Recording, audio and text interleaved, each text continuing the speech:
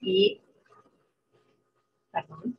eh, y ha sido directora de los doctorados en Psicología y Psicopedagogía de la Pontificia Universidad Católica Argentina. Editora eh, de, de herramientas disciplinarias, tanto en la revista de Psicología y Ciencias Afines, y autora de más de 180 publicaciones, capítulos y libros académicos. Muy bien, María Cristina, si te parece, si querés dar comienzo a la ponencia, si querés compartir tu pantalla. Sí. Voy a convertir.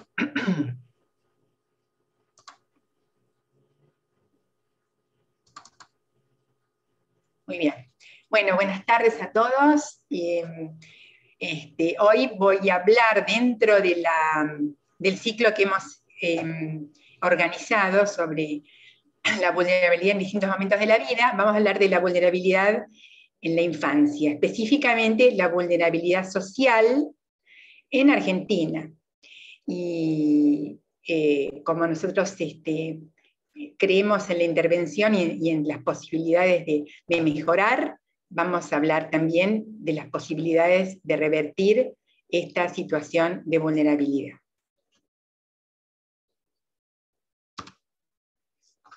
A ver si esto anda. Cris, hace clic sobre la pantalla para que te permita cambiar, ¿verdad? Ahí va. Bueno, nos podemos preguntar si hay razones para creer que actualmente hay una incidencia de necesidades especiales entre los niños socialmente vulnerables. Específicamente, ¿hay factores contextuales, biológicos y sociales que contribuyen para que el desarrollo temprano difiera según el estrato socioeconómico? La respuesta es definitivamente sí. Existe evidencia de que los niños de estratos sociales bajos tienen necesidades especiales basadas en diferencias biológicas y sociales. Entre los factores biológicos que afectan la comisión y la conducta están la exposición a diferentes tipos de polución, alcohol y tabaco durante el embarazo, bajo peso al nacer y deficiencia de los micronutrientes nutrientes. Además, hay factores de riesgo social asociados con el tipo de ambiente en la casa, tal como depresión de la madre, baja respuesta a las necesidades de los niños, el grado y tipo de estimulación del lenguaje, estilos parentales y calidad de cuidado disponible. ¿Cuáles son las características del desarrollo socioemocional, cognitivo y lingüístico en los niños y adolescentes de nuestro país? cuán diversas son las experiencias infantiles y en qué medida ellas traen aparejadas una variabilidad en el desarrollo. Uno de los rasgos distintivos de nuestro país es la diversidad. La Argentina tiene una superficie de 2.780.000 kilómetros cuadrados, con una longitud de 3.779 kilómetros en sentido norte-sur. Debido a estas características físicas, la Argentina tiene casi todos los climas, desde subtropical en el norte hasta frío en el sur. Su población también es diversa y aunque una gran cantidad de habitantes se considera descendiente de europeos, esto no hace homogénea a la población. En efecto, existen grupos culturales diferentes, aún dentro de los mismos europeos, como los alemanes del Volga en Entre Ríos o los de Misiones, sin mencionar las poblaciones aisladas de la cordillera o los grupos aborígenes también muy diversos. La diversidad cultural y lingüística hace a las potencialidades y riqueza de nuestro país, no así la desigualdad socioeconómica y sus efectos. Según el informe del barómetro social de la deuda social de la infancia de la UCA, en 2019, ahora estamos peor, el 62,5% de los menores de hasta 17 años tenía alguno de sus derechos vulnerados. El número basado en el enfoque multidimensional de la pobreza superaba las cifras oficiales que contemplaban solo el aspecto económico y señalaban que el 39,5% 7% de los menores de hasta 14 años eran pobres en ingresos y que el 4,8% eran indigentes. Sabemos que estos números ahora se han elevado bastante. Esto significa que carecen de satisfacción de necesidades básicas, ya sean materiales, emocionales o educacionales. la situación se vuelve más de pobreza, tienen un alto riesgo de ser socialmente vulnerables, es decir, de estar expuestos al estrés como a los riesgos y la falta de medios para superarlo. En la medida en que aspiramos a un país equitativo, donde todos tengan las mismas oportunidades de desarrollar sus potencialidades, debemos conocer las características de las poblaciones vulnerables en lo que se refiere a la constitución familiar y al desarrollo emocional, cognitivo y lingüístico en los niños. No tiene sentido hablar de desarrollo psicosocial de un niño cuya supervivencia física esté en peligro. Al mismo tiempo que no es sensato preocuparse solo por la supervivencia del niño y no por el desarrollo de sus potencialidades y la calidad de su vida futura. Habrá que dedicar especial atención a las consecuencias de la mala salud y la malnutrición, pero también a la acción recíproca del desarrollo, entre el desarrollo físico y el psicosocial. Más allá de este panorama, las estadísticas oficiales están enfocadas principalmente a la población urbana, tornando invisibles o de muy difícil acceso aspectos claves sobre las condiciones de vida en el ámbito rural. Los índices que miden la pobreza y el desarrollo no contemplan esta realidad. La dispersión de diagnósticos, datos e informes, tanto públicos como privados, tampoco ayudan a obtener una foto socioambiental rural que sea clara y actual. Según la encuesta sobre educación y desarrollo rural, realizada por la Red de Comunidades Rurales, basada en la respuesta de 1.015 actores clave de la comunidad educativa rural a lo largo del país, se estima que más de 1.500.000 pobladores rurales viven en situación de extrema pobreza en nuestro país.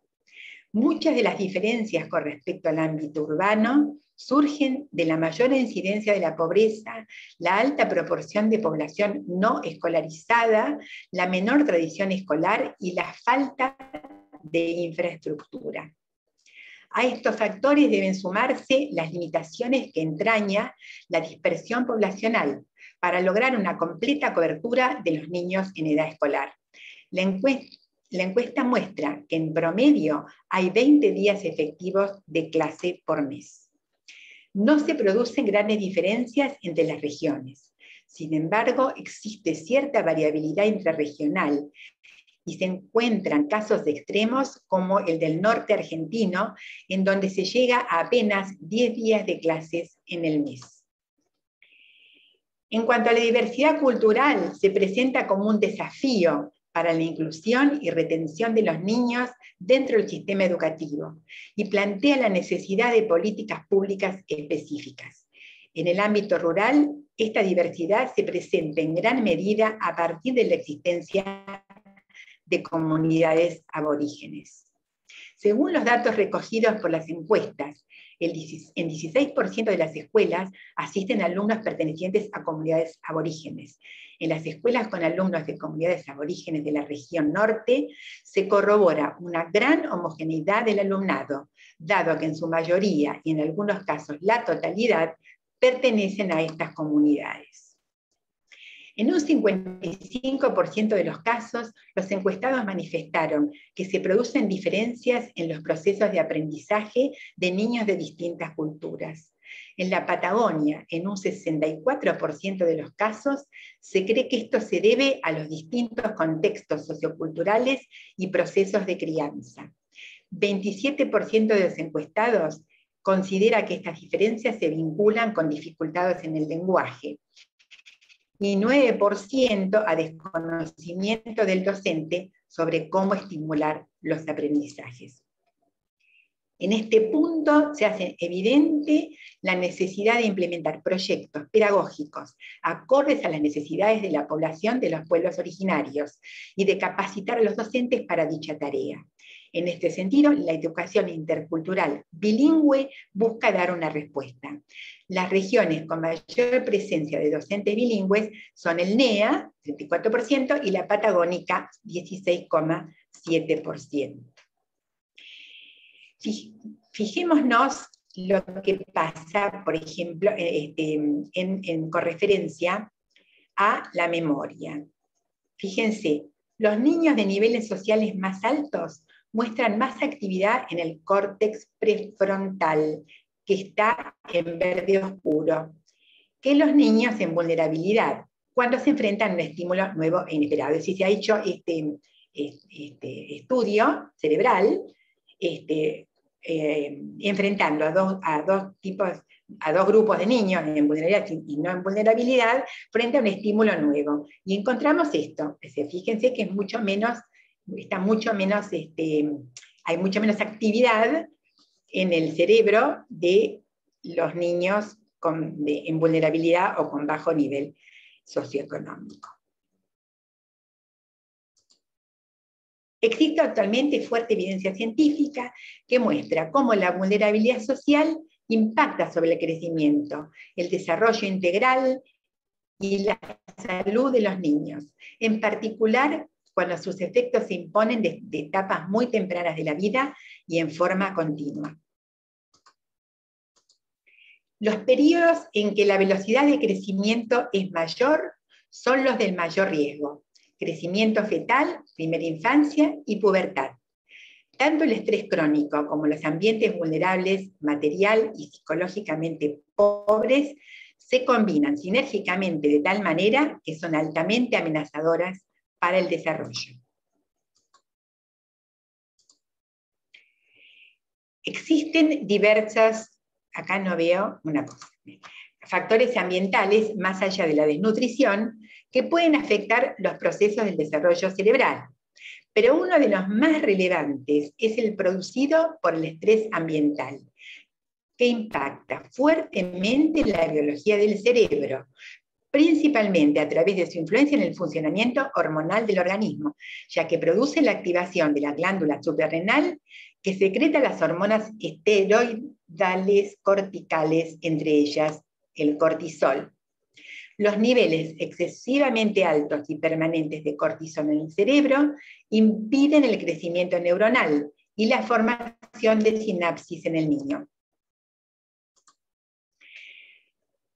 Analizando la relación salud-vulnerabilidad social, se destaca la importancia de la calidad del ambiente familiar, que la vulnerabilidad social tiene un perfil de dificultades caracterizado, entre otros factores, por una alta conflictividad y estrés familiar.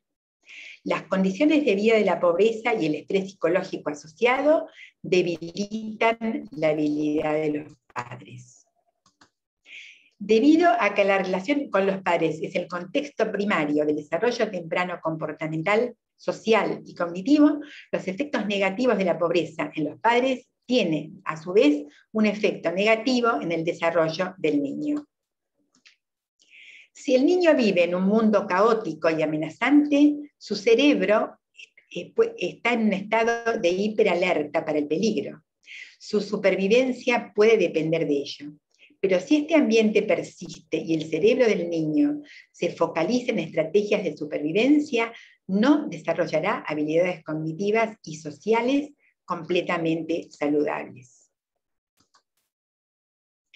Estudios que llevamos a cabo en escuelas de Gran Buenos Aires, Paraná y Santa Fe, en total cinco escuelas y aproximadamente 500 niños urbanos marginados, nos, dieron estos resultados. Con respecto, fíjense, el control inhibitorio. El control inhibitorio, que es una de las funciones ejecutivas, ¿verdad? Porque es la que nos permite, digamos, eh, atender y desarrollar la memoria de trabajo, este, etc. En este caso, o sea, siempre los chicos más pequeños son más impulsivos y poco a poco se van autorregulando y aumentando su control inhibitorio. En este caso, hemos visto que a mayor edad, menor control inhibitorio.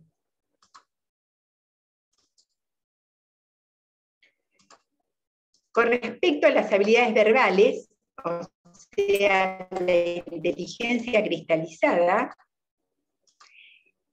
y las habilidades no verbales, o sea, la inteligencia fluida, encontramos que el 50 rendimiento muy bajo, el 21,7 un rendimiento bajo, el 11,7 un rendimiento medio bajo y el 10,10 un rendimiento medio. O sea, solamente el 10% alcanza el rendimiento medio. Rendimiento alto y muy alto no existe. Con respecto a las no verbales o la inteligencia fluida, tenemos que el 31,7% de los niños vulnerables presenta un rendimiento muy bajo, el 40%, el 40 bajo, el 23,3% medio bajo y el 5% un rendimiento medio. Al parecer, la asociación entre el nivel económico-social o el estrato socioeconómico y el desempeño del ejecutivo cognitivo se debe principalmente al nivel de educación de los padres. Las conclusiones de varios estudios añaden a esta hipótesis indicando mediante técnicas de neuroimagen que las diferencias cerebrales asociadas al estrato socioeconómico se deben principalmente a la menor estimulación cognitiva, características parentales y estrés ambiental. Esto sugiere que habría una influencia preeminente del ambiente y no un déficit de base orgánica, lo que permitiría reconsiderar el perfil ejecutivo asociado al nivel socioeconómico como una dificultad para realizar tareas ejecutivas debido a la falta de estimulación específica para el desarrollo de estas funciones. Dada su importancia para el diseño de estrategias de intervención, hemos analizado las posibles variables mediadoras en la asociación entre el nivel socioeconómico y el rendimiento cognitivo encontramos que el lenguaje es un mediador parcial y que la impulsividad cognitiva y no el cociente intelectual media la relación entre el estrato socioeconómico y las funciones ejecutivas. ¿Qué queremos decir?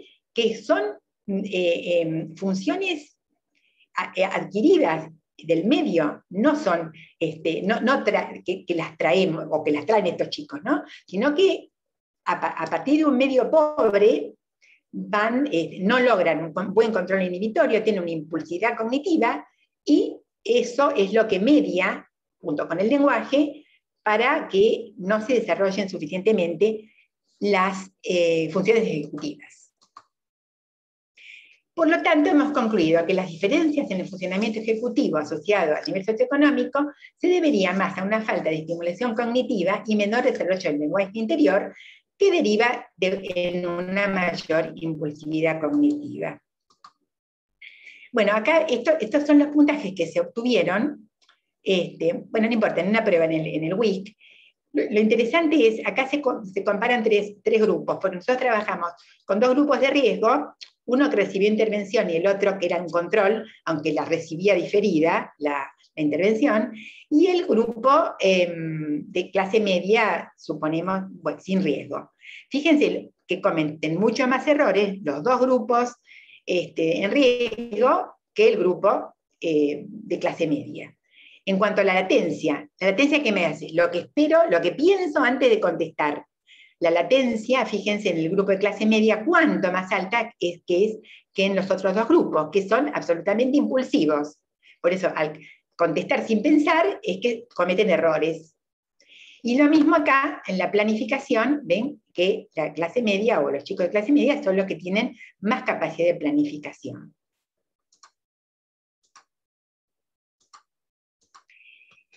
El desarrollo emocional se construye en la arquitectura cerebral de los niños pequeños en respuesta a sus experiencias individuales y de acuerdo a las influencias de los medios en que ellos viven.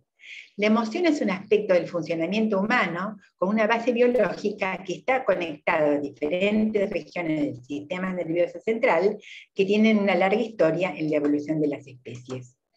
Avances científicos recientes han mostrado cómo el desarrollo interrelacionado de la emoción y la cognición depende de la emergencia, maduración e interconexión de circuitos neurales complejos en múltiples áreas del cerebro, incluyendo el córtex prefrontal, la corteza límbica, la amígdala, el hipotálamo y el tronco cerebral. Los circuitos que están involucrados en la regulación de la emoción son altamente interactivos con los que están asociados a las funciones ejecutivas, tales como la planificación, el juicio y la toma de decisiones. En términos de funcionamiento básico del cerebro, las emociones sostienen a las funciones ejecutivas cuando están bien reguladas, pero interfieren con la atención y la toma de decisiones cuando están controladas pobremente. Cuando no se sabe manejar los sentimientos, el pensamiento puede dañarse.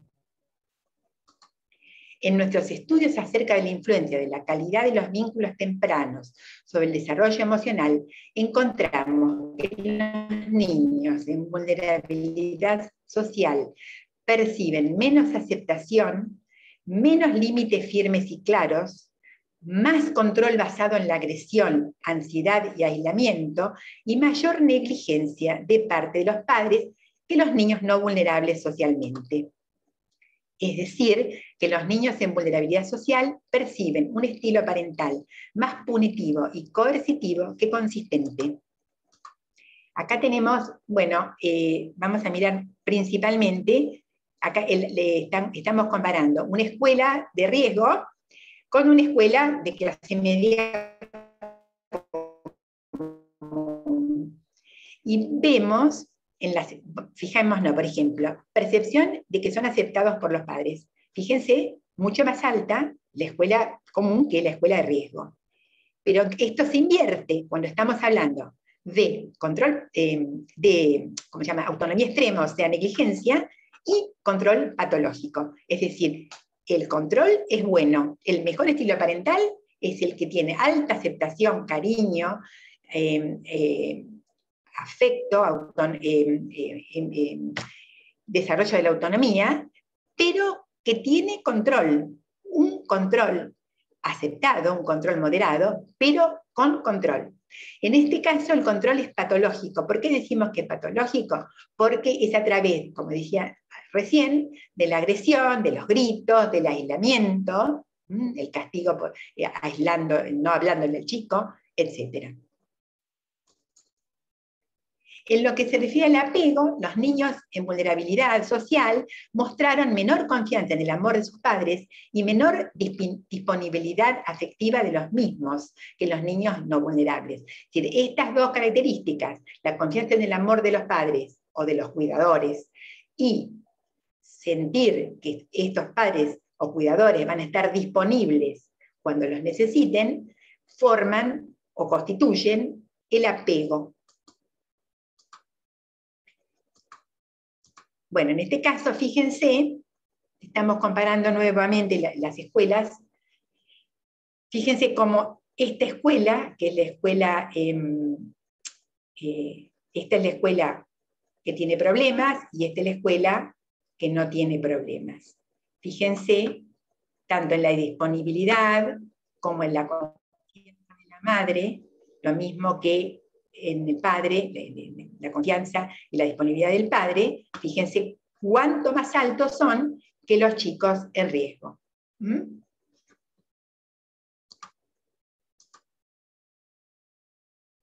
Con respecto al perfil comportamental de los niños en vulnerabilidad social, hemos encontrado deficiencias en el control inhibitorio, ya lo vimos hace un ratito, que impacta significativamente en la conducta impulsiva e hiperactiva, pero también negativismo y agresividad física y verbal que surgen de la falta de internalización de reglas claras, modelado negativo y coerción como único método para disciplinar. Acá tenemos, ven, la, eh, comparación, no, eh, no riesgo y en riesgo. Fíjense la diferencia en prácticamente todas las, alteraciones del comportamiento, ¿no? Pero fundamentalmente en la agresión física y verbal, del negativismo, déficit, la impulsividad, déficit de atención, etc. Bueno, rápidamente voy a hablar del afrontamiento, que, bueno, son eh, son los esfuerzos colectivos y conductuales que constantemente cambiantes que se desarrollan para manejar las demandas específicas externas o internas que son evaluadas como excedentes o desbordantes de los recursos del individuo. Es decir, que son evaluadas por nosotros como amenazantes o desafiantes. Es decir, ¿qué hacemos para enfrentar estos desafíos y estas amenazas. Bueno, entonces, esto, em, este es un proceso que se, realiza en un contexto específico particular y que está en continuo cambio a medida que la interacción va desarrollándose. Esta dinámica surge de las continuas evaluaciones y reevaluaciones de la cambiante relación individuo-medio. En los niños en vulnerabilidad social, debido a la debilidad de los recursos ya comentada, se encuentran con frecuencia afrontamientos disfuncionales, caracterizados por bajo análisis del problema, y la reestructuración cognitiva, y al mismo tiempo alta evitación y falta de control emocional. A ver, explico un poquitito. Eh, el modelo, por lo menos el que nosotros usamos, que se usa prácticamente en todo el mundo, es el, el estímulo, si ustedes quieren, la amenaza, los recursos y el afrontamiento. En la medida que tenemos recursos, recursos son todos, ¿eh? recursos psicológicos, sociales, materiales, en la medida que nosotros percibimos que tenemos buenos recursos, entonces percibimos menos amenazas, que las cosas nos amenazan menos porque tenemos confianza en que las vamos a poder superar.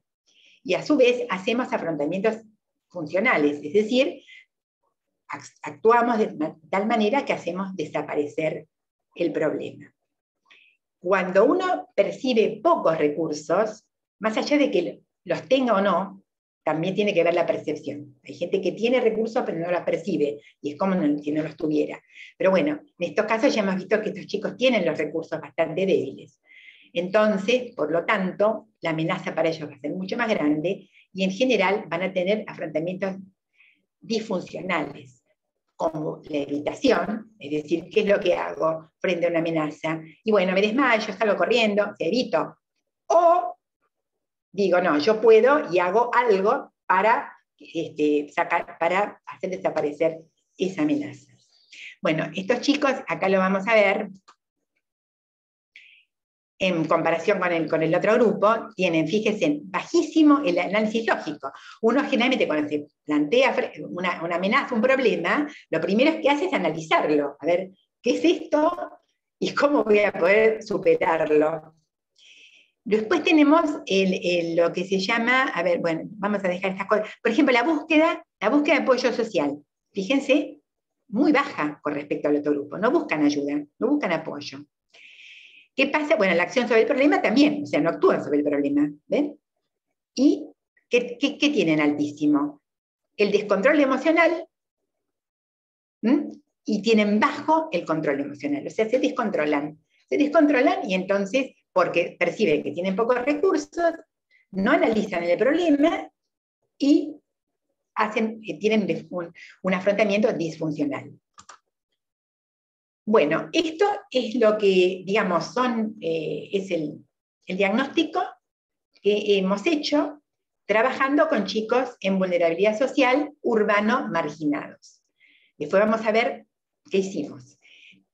Ahora querían presentarles también eh, los primeros trabajos que hemos hecho, lamentablemente han quedado ahora suspendidos por el COVID, este, en las comunidades rurales.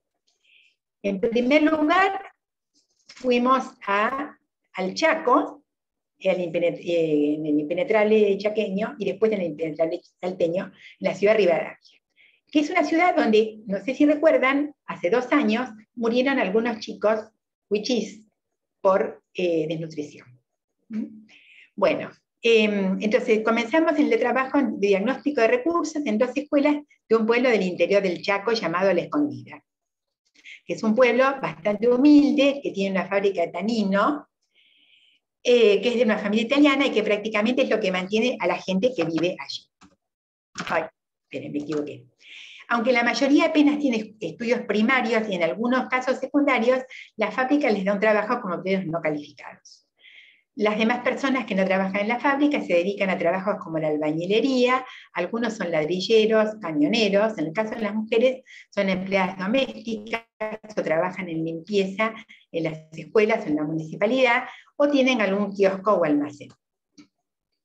Una de las escuelas está en la zona rural y la otra está en el pueblo. ambas escuelas concurren niños muy humildes y algunos de clase media, ¿Qué pasa en el área cognitiva? Miren, fíjense. Acá comparamos el, rural estrato bajo con urbanos marginados. Fíjense, están peores que los urbanos marginados. Acá, ¿ven? O sea, en memoria de trabajo, que es una función muy importante porque es la que nos permite procesar continuamente. Estamos siempre trabajando con nuestra memoria de trabajo. Entonces, estamos procesando la información. Entonces, fíjense que el rural bajo está bastante más bajo que el urbano marginado, que ya está bajo, como vamos a ver en un ratito. Acá hay una diferencia significativa, bastante importante. ¿En qué otra cosa tienen diferencia? En la flexibilidad cognitiva, que es muy importante para la creatividad.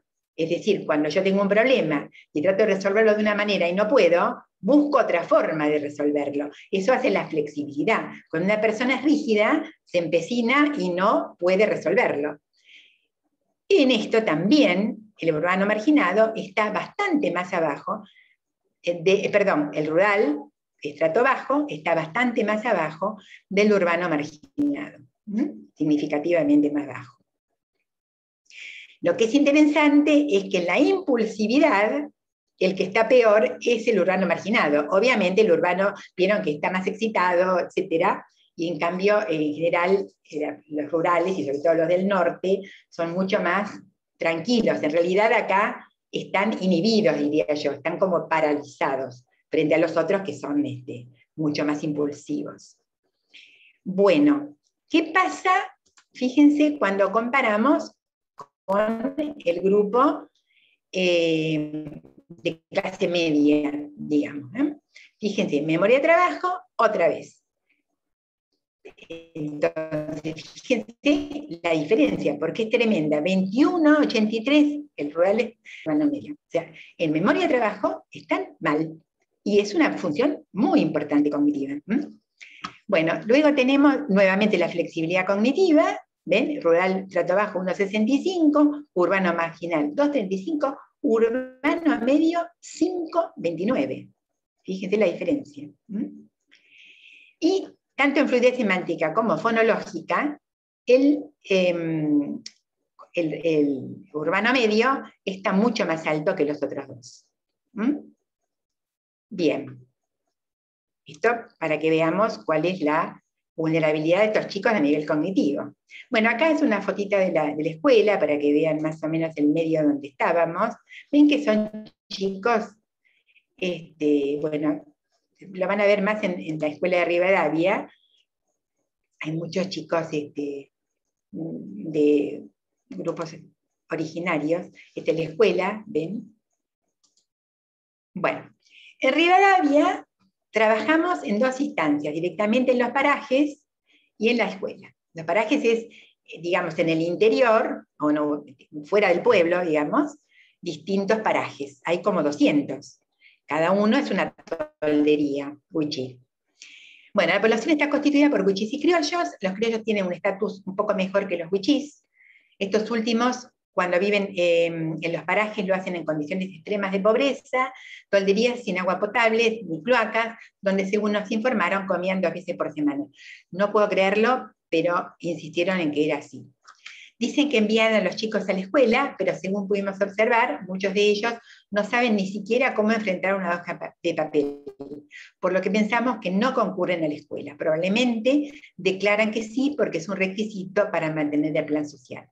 En general viven de los planes, porque como son originariamente cazadores y recolectores, no tienen la costumbre de cultivar y ya no hay bosque donde ir a recolectar. En el pueblo está la escuela donde concurren los criollos y los buchís. La escuela es nueva, tiene un buen edificio, hay un maestro por grado y un nativo para toda la escuela que traduce al wichí y al español cuando los chicos no entienden. Tiene cocina, pero no comedor, por lo que los chicos comen en sus aulas, algunos de ellos llevan viandas a su casa, o sea, le preparan la comida para llevarle a los hermanitos. Bueno, acá hay algunos trabajos de ellos. Acá está para que vean un poco el aula, ven que estaban comiendo en el aula, no tienen comedor. Bueno, acá ven que son wichis, evidentemente, ¿no? Acá está una de las chicas de nuestro equipo. Bueno, este es el equipo con el que estábamos trabajando. Y acá, bueno, acá estoy con mi equipo, que fuimos para allá, pero quiero que vean un poco, ven la calle y vean la, ven, este es el tipo de, de toldos donde viven en, la, en, los parajes, ¿no? Porque acá, en, acá en el pueblo, por ahí, tienen una casa y atrás ponen el toldo bueno, como una adaptación cultural, digamos, ¿no? Pero fíjense lo que es esto, ¿eh? lo que es esta toldería. bueno.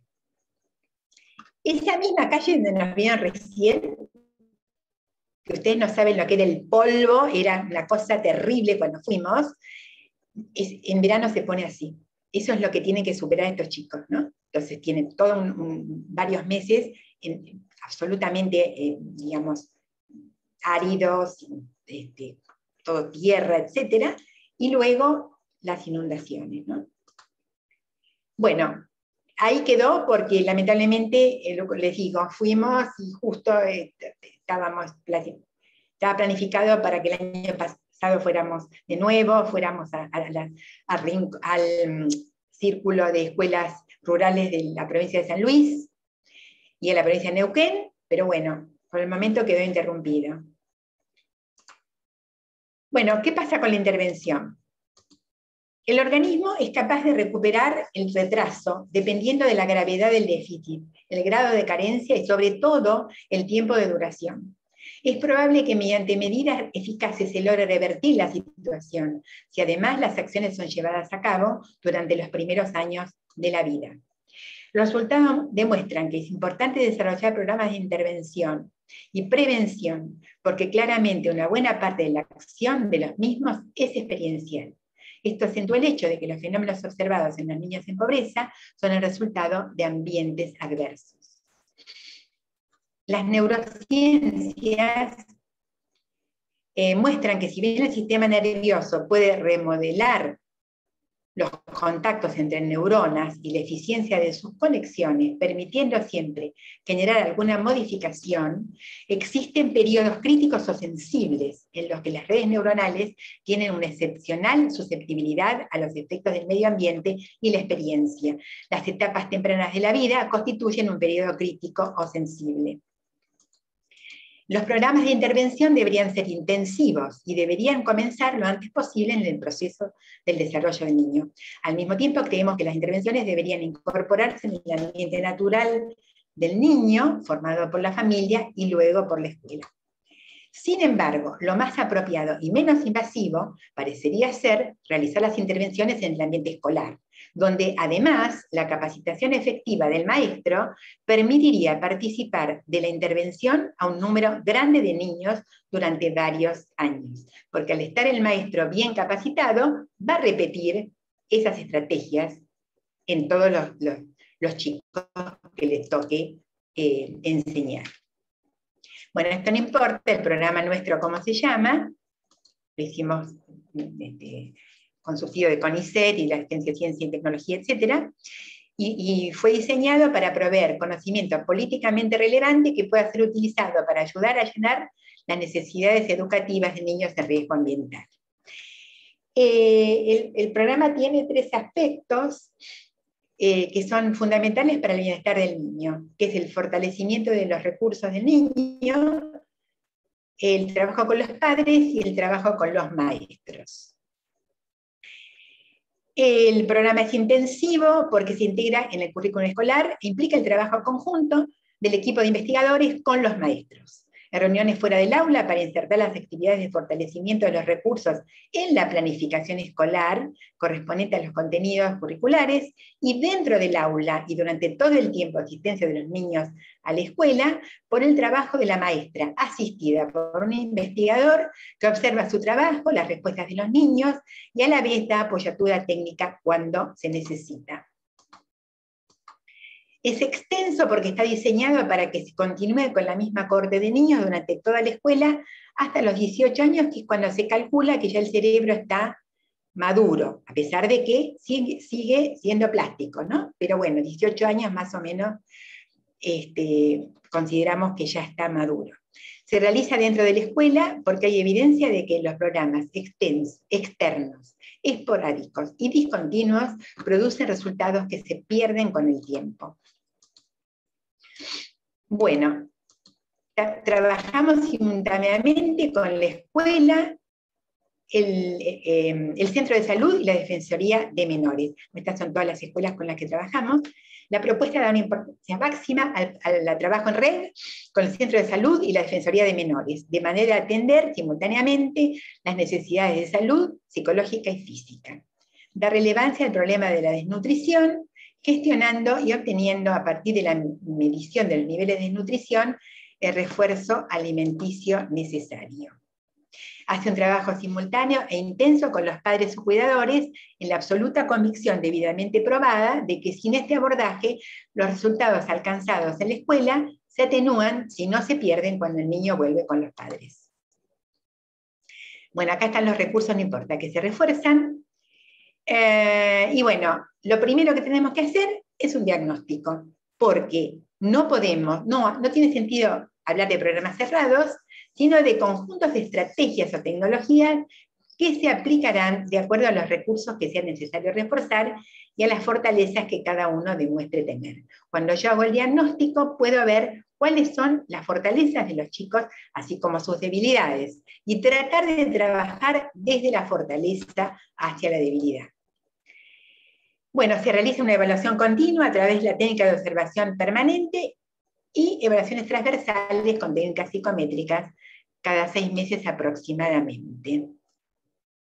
Bueno, y acá vamos a ver eh, un, poquito una ejemplificación rápida de lo que se hizo. Esto es intervención en, los recursos cognitivos. Bueno, y acá vamos, ponemos las, para promover la reflexibilidad y la autorregulación se incrementó el control externo y la supervisión de la conducta por medio de la propuesta de reglas simples y explícitas, la técnica del modelado para favorecer el uso de un lenguaje autodirigido, la enseñanza de estrategias reflexivas y el uso de reforzadores positivos mediante un sistema continuo de puntos. ¿Mm? Bueno, acá están un poco cuáles son las estrategias. Han aparecido eh, dos libros, con, em, todas con las estrategias de intervención cognitiva. Bueno, acá están, igual ahora ya estos libros son viejos, hemos sacado otros. Bueno, estos eran los libros originales. Em, bueno, el modelado cognitivo, con las autoinstrucciones, las estrategias de enseñanza de escudriñamiento o análisis cuidadoso, y esto se logra a través de los siguientes procedimientos. Ejercicios de búsqueda de figuras semejantes a un modelo.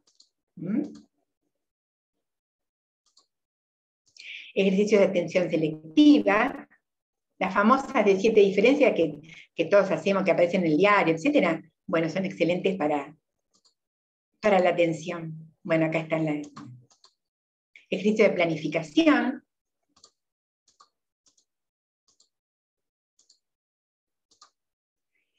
Eh, bueno, em, y debido a que el objetivo final fue realizar una intervención con criterios ecológicos que se adaptara a las necesidades áuricas y a la tarea educativa, los ejercicios del cuaderno se ofrecieron como modelo y los interventores, trabajando en forma conjunta con los maestros, diseñaron sus propias estrategias en función de los ejercicios base, pero adaptadas al currículo escolar de acuerdo a qué sé yo, si era matemática o lo que fuera, se adaptaban estos problemas a los diferentes contenidos. Bueno, por ejemplo, esta fue una investigación para desarrollar funciones ejecutivas, ¿no? Eh, planificación, atención, este, eh, evaluación sobre el agua potable. Entonces, ellos, esta, esta, escuela estaba a la orilla del Antoñico, es un arroyo que está en Paraná, que, divide la, ciudad de, digamos, de, la, de, la otra parte, digamos, este, y, que está contaminado. Entonces ahí ven, eh, iban, buscaban agua del, arroyo, después comparaban el agua del arroyo con el agua de la canilla, este, cuál era más clara, cuál, etc. Bueno, también se trabajó con, las, em, con emociones positivas, ¿eh? refuerzo positivo, relajación mental y muscular, análisis de costo-beneficio, narración, búsqueda de soluciones alternativas, música, juegos de planificación. Bueno, acá también hay un, hay un libro que se vendió muchísimo este, para trabajar las emociones positivas. Acá, por esto eh, lo, un interventor, ¿ven? Que era para que aprendieran los chicos el reconocimiento de emociones. También que la primera, la primera parte para después poder regular las emociones es conocer lo que uno siente y lo que siente el otro. Bueno, después también se trabajó con habilidades sociales, también se sacaron dos cuadernillos. Se trabajó primero, ah, bueno, acá hay más descripción, no importa. Eh, lo que primero se trabajó fue este, hábitos. Después, eh, cuando ya tienen seis o siete años, se puede trabajar este, asertividad. Y finalmente, ya a los 10, 11 años, se puede trabajar negociación. ¿eh? Negociación cuando, frente al conflicto. Acá está, por ejemplo, esto para fijar normas, ¿no? Acá tienen niños que molestan, molestan, gritan, tienen cosas al suelo, hay niños que trabajan, te ayudan, etc. Las reglas de mi grado, y entonces ahí, ¿qué se puede hacer? ¿Qué no se puede hacer? ¿Mm?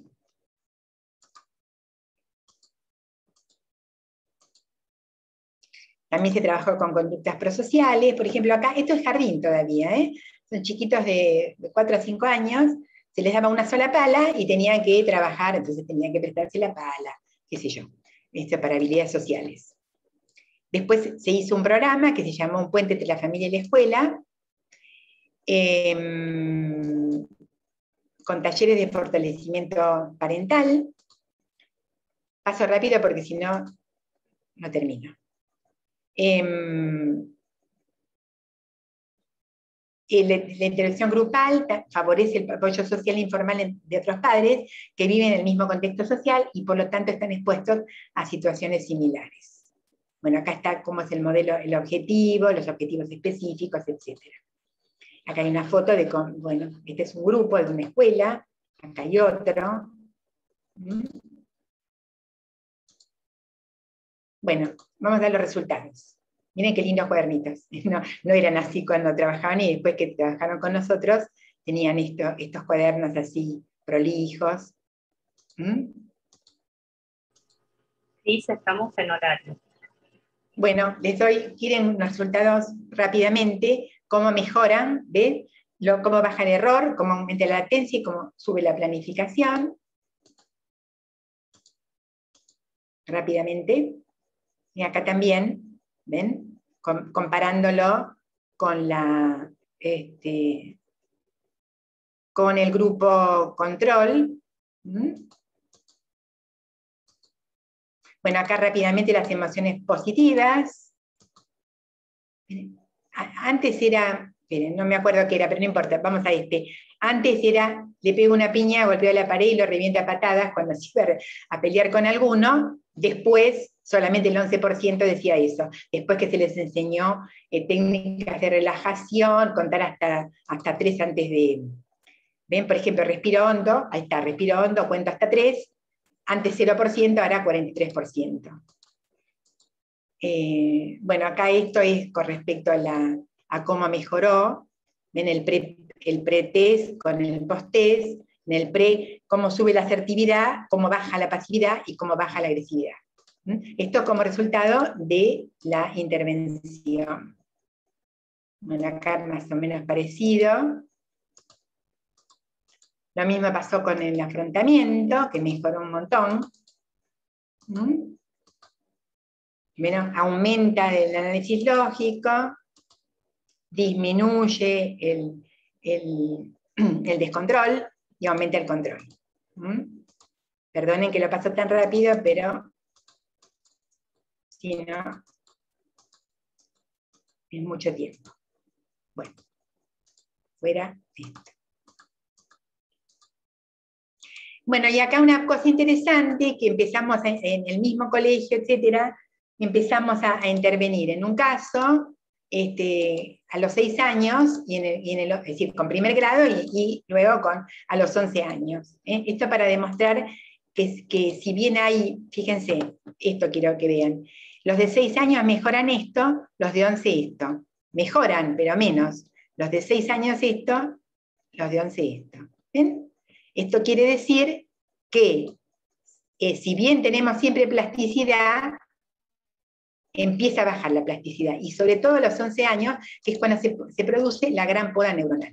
O sea, hay todo el tiempo apoptosis o, pequeñas podas, pero a los 11 años es cuando se produce la más grande. Esto nos está diciendo, bueno, y ahora para pasar esto, eh, esto nos está diciendo que es importante las intervenciones empezarlas temprano. Cuanto más temprano, mejor. Porque cada vez, si bien tenemos plasticidad hasta nuestra muerte, pero evidentemente la, esta plasticidad va bajando. Bueno, eh, vamos a, cortar acá, tengo más resultados, pero vamos a cortar acá para que pueda haber este, preguntas. Al final había como unas este, recomendaciones de que tiene que haber desde el gobierno políticas de, planes de, intervención, em, eh, digamos, basados en, la investigación y que alcance a todos los niños que lo necesiten. Bueno, este, vamos a, contestar las preguntas entonces ahora, si les parece. ¿Dejo de compartir? Sí, Cris, mejor así nos vemos.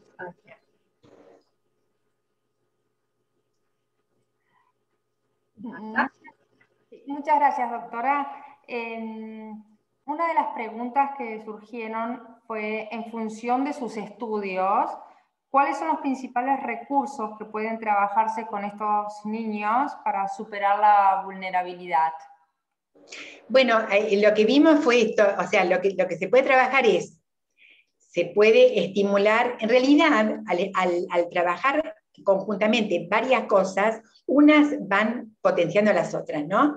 Entonces, por ejemplo, este, em, por ejemplo, cuando se estudiaba, eh, cuando se trabajaba con emociones positivas y se les enseñaba a relajarse, a, no contestar, eh, digamos, a, no contestar inmediatamente cuando se enfrentaban a algún problema, etc., eso al mismo tiempo que mejoraba, bajaba la agresividad, mejoraba la, la, serenidad, que es una emoción positiva, también aumentaba el control inhibitorio y bajaba la impulsividad a nivel cognitivo. Entonces se van como retroalimentando entre todas, ¿no? Entonces nosotros trabajamos emociones positivas, por esto, habilidades sociales que es importantísimo, porque es el mejor predictor de éxito adulto no es el cognitivo, es la habilidad social. Entonces, este, trabajamos mucho la habilidad social, como les decía, hay que tener muy en cuenta la progresión, es decir, a un chico de 5 años uno le puede enseñar negociación, sino que tiene que ver con los hábitos, ¿eh? los hábitos de limpieza, este, de orden, de respeto al otro. Después recién, como a los 7 años, se puede empezar a trabajar más la asertividad, ¿eh? el, poder pedir o el poder exigir inclusive, pero respetando al otro. Y finalmente, ya recién como a los 11 años, trabajamos la negociación frente al conflicto. Entonces, eh, todas estas cosas trabajamos simultáneamente, las habilidades sociales, la, parte cognitiva, las emociones positivas, la prosocialidad, y al mismo tiempo estábamos trabajando con los padres. ¿Qué pasaba? Bueno, no llegué ahí, pero nosotros trabajamos mucho con los padres y luego quisimos medir en el chico cómo esto había repercutido. Es decir, más allá de que por supuesto veíamos antes y después cómo el padre había cambiado su actitud o lo que fuera, este, le, tomábamos a los chicos nuevamente las pruebas de, apego y de estilo parental. Y mejoraba muchísimo, es decir, el hecho de haber trabajado con los padres se reflejaba en, una mejor, en un apego mejor, y en una, eh, una, percepción mejor de la relación que tenían con los padres. Por ejemplo, aumentaba la aceptación, bajaba el control patológico, etc. Entonces, bueno, eso es como que todo conjuntamente, trabajando, porque trabajábamos todo el día, estábamos todo el día en la escuela, ¿no? Este, y, siempre con, con, la maestra, o sea, todo el tiempo digamos, digamos pasando estas estrategias. Este, ¿Y por qué trabajamos con el maestro? Aparte también para capacitarlo y para que se hiciera en él carne el, el, el, nosotros planificábamos con ellos las clases, todo, pero era importante en un recreo o en un momento de la clase, algo que no estaba planificado, y que pues, eh, algo que el chico hacía, y que el maestro pudiera en ese momento responder a esa demanda que, no estaba planificada, obviamente, ¿no? Bueno, no sé si respondí la pregunta. Sí, perfecto. Bueno, surgen en relación al trabajo para con los padres también, preguntan si los valores morales fueron parte de la investigación o los valores propios de la comunidad. Eh, no específicamente lo que, eh, lo que se trabajaba era, se trabajaba en función de lo que los padres traían. ¿eh? Una cosa que aprendimos es que padre, los padres, los maestros también, rechazan un poco eh, el psicólogo, el psicopedagogo, etcétera, que viene con, un criterio de autoridad a imponerle cosas. Entonces, nosotros lo que queríamos era que la necesidad saliera de ellos. De ellos planteaban, este, en principio tratamos de trabajar, de, contarles la lo que estábamos trabajando con los chicos en el colegio y cómo ellos lo podían reforzar desde la casa. Y, este, pero también cosas como, a ver, eh, este, ¿qué tiene de lindo tu hijo? A ver, bueno, resulta que al principio eran todas quejas, no tenían nada lindo, ¿no? Entonces empezábamos a hacerles ver, bueno, no, no son alegres, no esto, no lo otro. Entonces ellos empezaban a ver cosas positivas, por ejemplo. Este, ese tipo de trabajo se hacía, ¿no? También por ahí surgió un, papá que vino y que dijo que, este, porque hubo un, llamado a, bueno, los ingredientes para ser buenos padres. Inclusive se, se hizo una propaganda como, de una publicidad, como una olla de puchero con qué cosas necesitábamos. Y apareció un papá, bueno, acá vienen lo que son los valores también, ¿no? papá que decía que había venido porque mm, su abuelo lo había abandonado a su papá y su papá lo había abandonado a él. Y que él tenía, tenía una tendencia al abandono, pero lo trataba de, trataba de no, de no hacerlo, pero tenía esa tendencia ¿por porque es lo que había aprendido. ¿no? Entonces, bueno, lo planteó, y bueno, lo, interesante era que a partir de ese planteo salían muchos planteos de, otra gente que no se animaba a decirlo, porque en ese momento lo empezaba a plantear, ¿no? realmente era muy rico, muy rico el intercambio y, siempre saliendo de ello. Después salieron cosas muy interesantes en un momento que les gustaba, eh, para que estuvieran con los chicos contando cuentos. Entonces se armó un teatro, un teatro así como lo de los chicos, y pasaba, eh, se hacían unas gigantografías y pasaban cada uno a contar cuentos. Una mamá dijo, no sé leer. Entonces le dijimos, no importa, pasá y contalo con, la, con, el, con este dibujo, ¿no? Entonces, bueno, y, de repente empezaron a venir las mamás con otros, con los hermanos de los nenos que estaban, con los que estábamos trabajando, y empezaron a ir a la peluquería para venir, eh, porque, porque ¿qué pasaba? Lo filmábamos y aparecían en una, en una pantalla. Y ellos sentían como que aparecían en la televisión. O sea, fue impresionante el impacto y cómo empezaron a hacer red entre los propios padres, ¿no? A juntarse para, para, para pasarse recetas de cocina. Yo siempre digo que en la intervención uno no sabe a dónde llega, con, o sea, uno hace una cosita y eso cómo después digamos, hace eclosión. Por ejemplo, los chicos, venían mamás y nos decían, ¿qué es eso de contar hasta tres? Porque el otro día le iba a pegar y me dijo, contá hasta tres. O sea que no seas impulsivo. Y, o que iban y le decían, tenés que decir buenos días a la mañana. O sea, etcétera. O sea, cómo uno nunca sabe hasta dónde llega el impacto de, de lo que va haciendo, ¿no? Se va multiplicando, digamos. Sí, perfecto, muchas gracias. Bueno, ya que está hablando del grupo familiar, mm, surgió la pregunta a ver el estilo parental que usted eh, o el equipo podía observar en la, eh, en la población de, donde estaban estudiando este trabajo. Y aprovecho a, preguntarle una segunda que mm, va a colación. Y con este grupo parental, eh, mm, ¿cómo trabajaban con ellos? ¿O era todo a través de los chicos? ¿Cómo se llamaba ese grupo parental? Trabajaba directamente con los padres, por lo que les estoy contando. Este, el estilo parental, bueno, primero cuando lo, cuando lo evaluamos, se evalúa con, una prueba, este, una prueba psicométrica. Eh, eso se le preguntaba a los, chicos, es decir, cómo percibían su relación con sus papás. Y ahí se, aparece contradictorio cuando yo digo, tienen un alto control y una alta negligencia. ¿Cómo puede ser? ¿Eso controlan? No. El problema es así. Em, por ejemplo, los chicos salen a trabajar.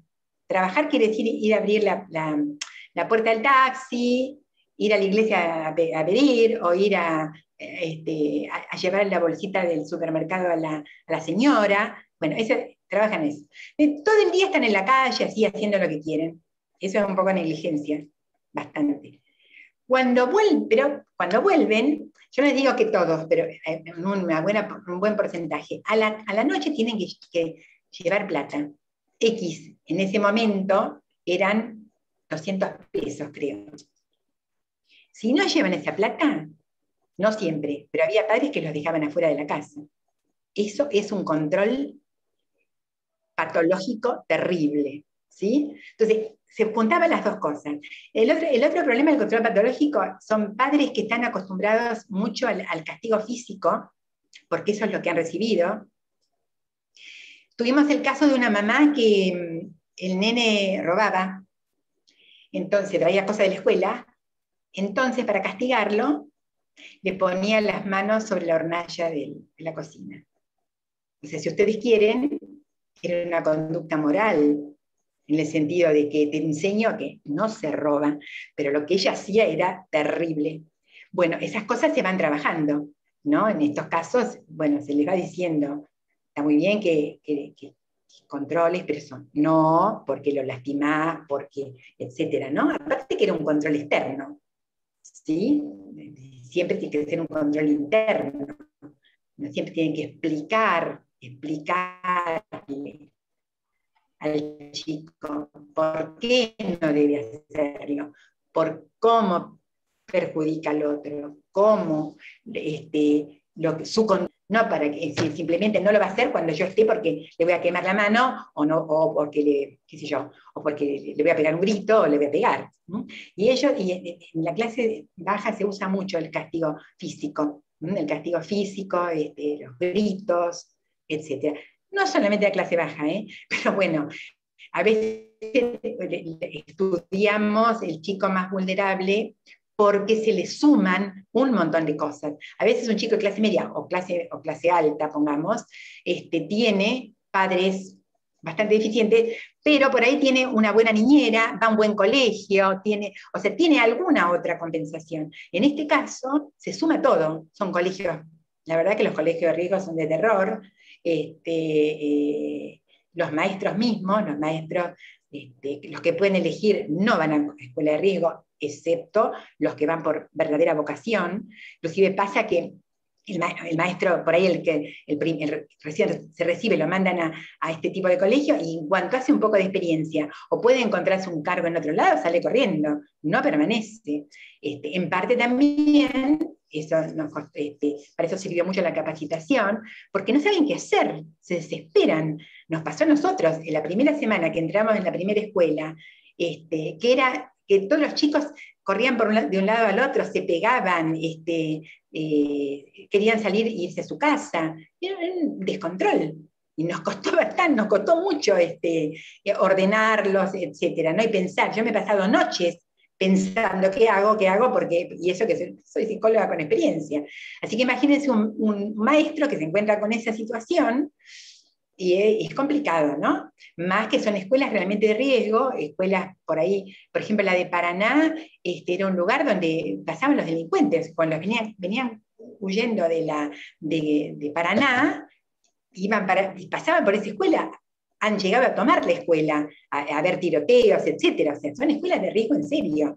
A mí me, preocupaba mucho mi, mi, equipo, porque además eran todas chicas muy jovencitas, entonces yo decía, tipo 2 de la tarde te va de ahí, porque realmente me preocupaba mucho.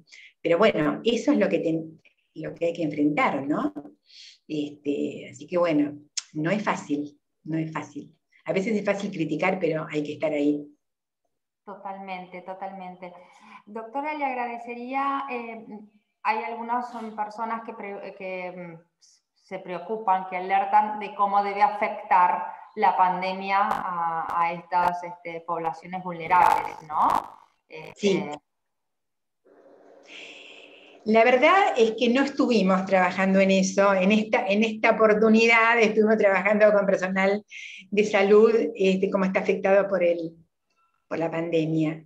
Y también sí hicimos em, un trabajo con chicos de clase media, es decir, con padres de clase media, media profesional. O sea, cómo está alterado, están alterados, ¿eh? También. Pero yo no me quiero imaginar, ya me lo imagino. digo que esta problemática, bueno, todas, hay que tomarlas de acuerdo a las distintas poblaciones. Entonces, imagínense el problema, por ejemplo, de la enseñanza a través de la, de enseñanza virtual. Esos chicos no tienen computadoras. Supongamos que la tuvieran. Tienen padres que los puedan ayudar.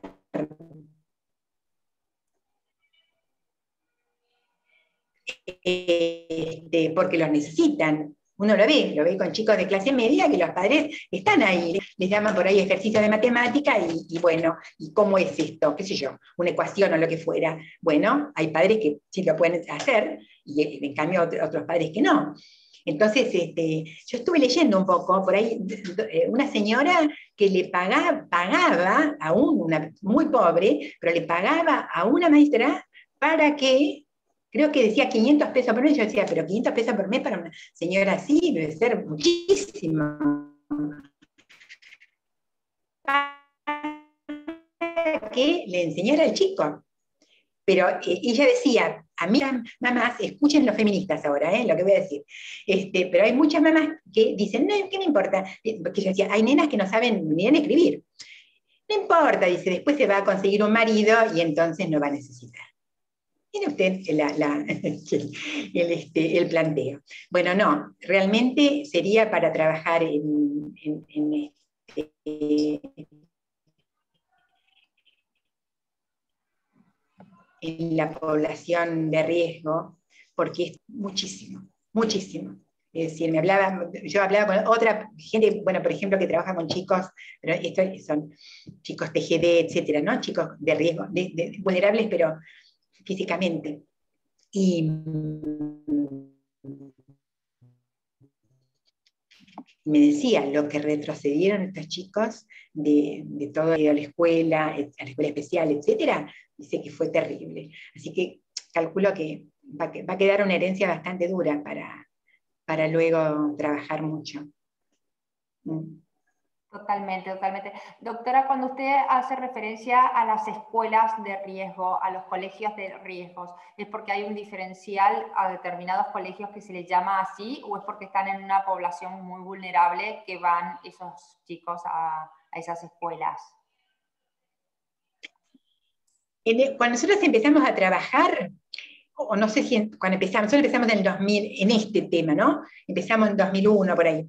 Pero este, justo cuando fue la, gran catástrofe económica, que yo empecé a trabajar por, yo hace rato siempre trabajé en desarrollo, pero en procesos básicos, como investigadora. Pero empecé a observar el asunto de que la gente salía a dar comida. Yo vivo en un barrio en Belgrano, en Barranca del Grano salían todos los vecinos de las torres, qué sé yo, a, a repartir este, comida. Y yo pensaba, pero esto no basta porque em, faltan otras cosas. Inclusive cuando uno come, una cosa es cuando come con afecto, cuando come una comida que le preparó la mamá o la abuela, con cariño, y este, en, un ambiente tranquilo, que cuando come parado en la plaza, una cosa que le dan, decir, ¿no? Entonces, y por eso de ahí salió el, nombre del, programa que se llama Sin afecto no se aprende ni se crece. Es decir, no es solamente la cuestión de la comida, porque inclusive en ese momento se hablaba de la desnutrición y de que el chico que estaba desnutrido lo tirábamos a la basura pues no servía más. Y no es verdad, no es verdad. O sea, este, lo, podemos levantar. Y, también es muy importante, trabajando en, en, CONIN, bueno, cuando el chico nace, está desnutrido, tiene una, tiene una visita al, pediatra todas las semanas, lo empiezan a, le empiezan a dar eh, nutrición. Si no arreglan el vínculo con la mamá, ese chico no progresa.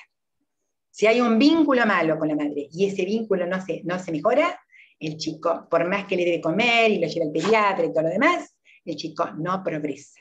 Entonces, toda la parte afectiva es súper importante. ¿Qué otra cosa me preguntaste? me parece que me fui por las ramas. Eh, Marta. No, no, no. Eh, no eh, sumó todo lo que usted dijo. Mi pregunta puntual era cuando usted decía escuelas de riesgo, si eran algunas determinadas dentro del barrio, de la población vulnerable. Bueno, al poco tiempo se, hicieron 100, las 100 eh, escuelas de riesgo, que las había señalado el propio, el propio gobierno, ¿no? el, el ministerio. Este, y bueno, esas son, pero, pero de riesgo yo te digo cuando van todos este, este, tipo de chicos, o sea, chicos con, que, son este, vulnerables, son escuelas que están en las villas, muy este, pobres, este, y donde van eh, eh, chicos en riesgo, es decir, chicos que ya tienen toda una serie de problemáticas, este, y en general son, escuelas em, muy pobres. Por ejemplo, la escuela La Delfina, nosotros trabajamos primero que era en Paraná, no tenía vidrios. Este, em, llevaron las computadoras al, eh, porque en esa, en esa época la, primer, el primer reparto de computadoras, no a los chicos, sino a las escuelas, eran las computadoras negras IBM que yo nunca había visto, una cosa maravillosa, pero se lo tuvieron que llevar a la comisaría, porque ahí se les iban a robar, por ejemplo, ¿no? O esto que les digo, o sea, que venían, venían los, los, delincuentes corriendo de, la ciudad de Paraná y pasaban por ahí y muchas veces se refugiaban en la escuela. Entonces son escuelas que están en determinados lugares, que tienen determinados alumnos, eh, maestros. ¿Por qué se va? se va produciendo esto, porque el maestro que va ahí y si no tiene recursos, trata de irse lo, antes posible. Otros no, otros aprenden y se quedan, y muchos mm, con nosotros. Nosotros empezamos haciendo capacitaciones, no queríamos más de 60 porque después queríamos hacer grupos para que, bueno, terminamos con, a veces con 500 maestros, es una locura porque venían este, para, que les, enseñáramos, para que los capacitáramos, para trabajar con nosotros, para ver cómo luego podían enfrentar este, estas problemáticas. Por eso les llamo, hay algunas que ya están calificadas así y otras que, bueno, te das cuenta cuando es de riesgo. En general no están en los barrios céntricos, etcétera, ¿no? Totalmente, totalmente. Y doctora, cuéntenos, ¿existen políticas de intervención del Estado para el diagnóstico de niños de menores de 5 años que no quede a voluntad de los padres así de, buscar ayuda? Porque algunos, mm, algunos chiquitos llegan sin diagnóstico algunos a la de 5. No, mira, yo sepa, no. No, y, te digo, no hay tampoco ni en las escuelas privadas, este, porque yo te mi hija eh, que, está en el pero además es maestra jardinera porque le encanta. Y ella me contaba, o sea, que muchas veces em, chicos que vienen con, alguna problemática o que los, este, los diagnostican como TGD o, con, o como este, yo tenía un, caso de una chiquita como TGD no tenía nada. O sea, a, medida que fue solucionando sus problemas en la casa, bueno, había problemas con la mamá, etcétera, no tenía nada, ningún TGD. O, si no, por ejemplo, eh, están este, sobrediagnosticados con trastorno de atención, porque los diagnostica la maestra.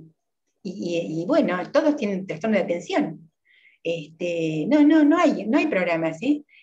Hay los centros de salud, que es lo que yo les decía, que por eso nosotros estábamos a trabajar con el centro de salud, este, donde, ¿qué tendría que el centro de salud por empezar? Mandar a los al médico o a quien fuera para pesar y medir los chicos para ver eh, el índice este, de desnutrición, porque de eso depende que después les den el refuerzo alimenticio. No vienen nunca, no vienen nunca. Está, el centro de salud, todo muy bien armado el sistema, pero a veces es porque, pónganle, tienen un centro de salud para 200 escuelas. Entonces no pueden, no pueden ir. Este, y de ahí tendría que ir también el neurólogo para ver cuando hay problemas neurológicos en los chicos, etcétera, pero no. Y después lo que sucede, nosotros, decimos si era una neuróloga infantil, por algunos casos que teníamos, la neuróloga después le dio un turno, pero después está el problema de que no van. Entonces, o, hay que acompañarlos, hay que tener una trabajadora social para que las acompañe, y también está el problema que a veces no van porque no tienen ni plata para el colectivo, para llegar al centro. Entonces, es bastante complicado el asunto y políticas no hay. Fíjense el otro problema que hay con la parte de la, de, este, ¿cómo se llama? El derecho, digamos, ¿no? Los, los abogados. Es decir, está, uno puede hacer la denuncia de abuso, lo que fuera, ¿no? Y después es un desastre porque nos pasó, con, por ejemplo, con una nena. La nena vino y dijo, sáquenme de mi casa. Se lo dijo a una de las chicas, porque eh, muchas veces confiaban. ¿Por qué? Porque tenía 11 años, el padre se emborrachaba con, la madre había fallecido, se iba con sus amigos, se emborrachaban, y la niña ya veía lo que le, iba a pasar. Entonces pidió por favor que la sacáramos de la casa. Así que se hizo la denuncia, Defensoría de Menores, qué sé yo, y tenía dos hermanitas. ¿Qué es lo que hacen? Las mandan a cada una a un, a un hogar diferente. O sea, las separan encima. O sea, es un desastre. Y después no hay un seguimiento del juez de lo que va pasando, porque el juez tiene que darse cuenta. Entonces, ¿qué pasa? Un día resulta que no, no, no aparece en la escuela.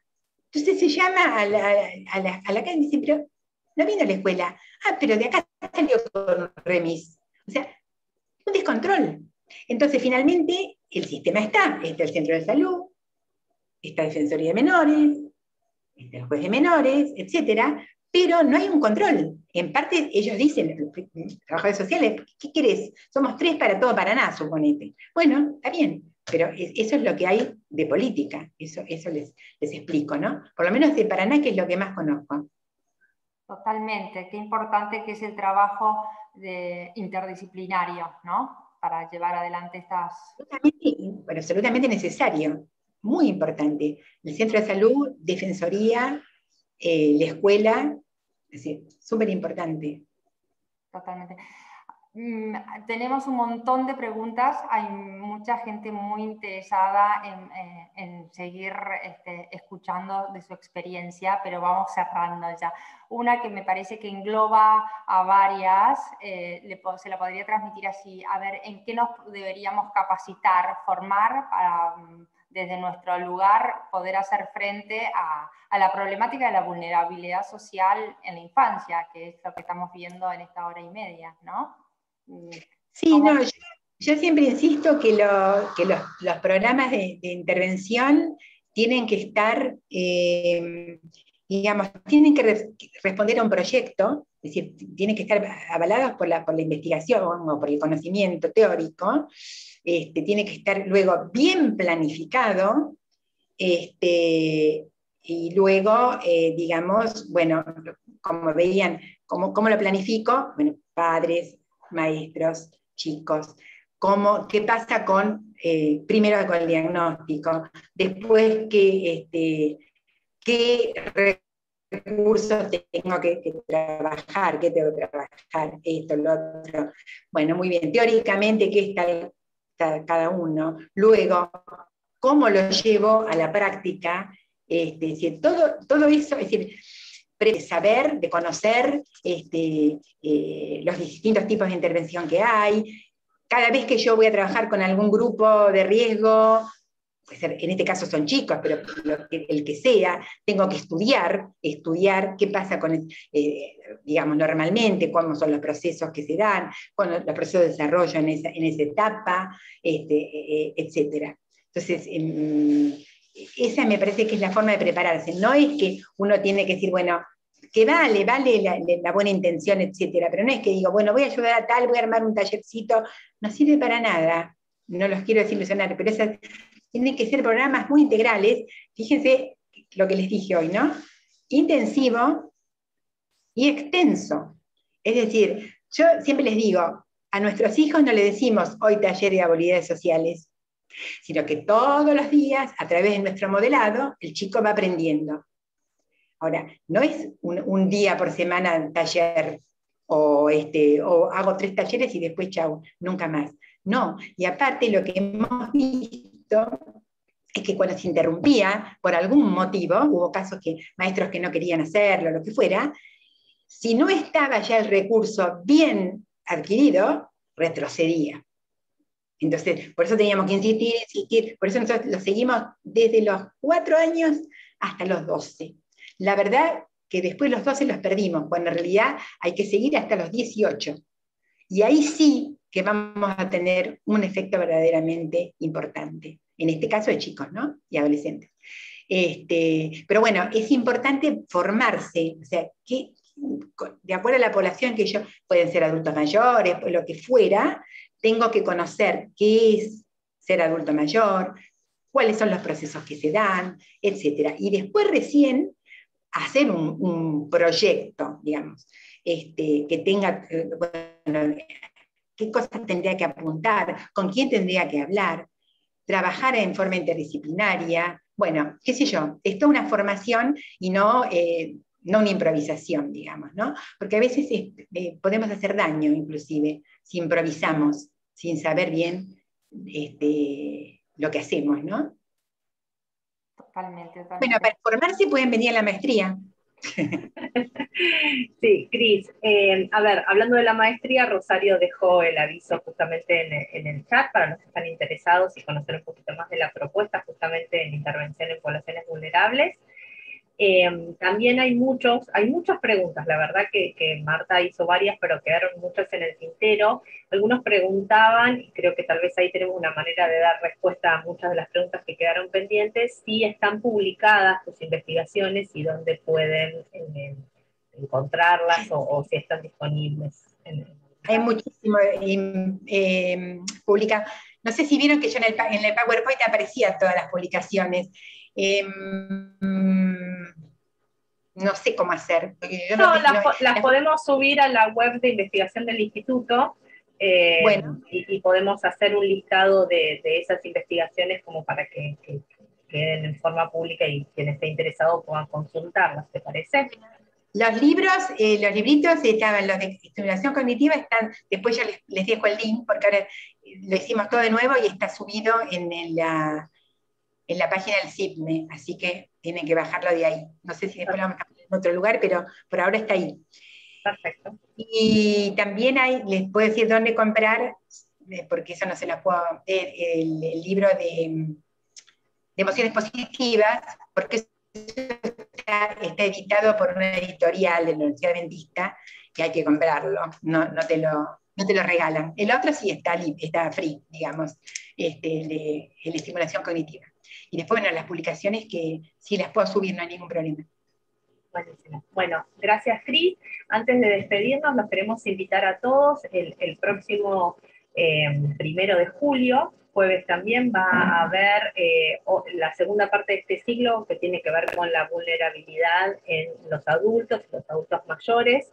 Eh, así que quienes quieran participar, también va a ser una jornada abierta y gratuita de inscripción previa. Seguramente en unos días va a estar disponible ya el enlace para que puedan inscribirse. Les agradecemos a todos su participación, especialmente a Cristina, eh, por todo lo que nos ha compartido. Seguramente hay mucho que queda en el tintero. un aplauso virtual que muchos hacen llegar, muchas felicitaciones. Eh, y, y agradecemos muchísimo su tiempo a todos y quedamos a disposición de ustedes. Después la grabación de esta conferencia la vamos a subir también en la web donde se han inscrito, eh, así que si quieren revisar con más tranquilidad cada una de las filminas y los resultados que Cristina iba poniendo, los van a poder tener disponibles. ¿sí? Bueno, muchísimas gracias a todos, que tengan muy buenas noches. Gracias, buenas noches.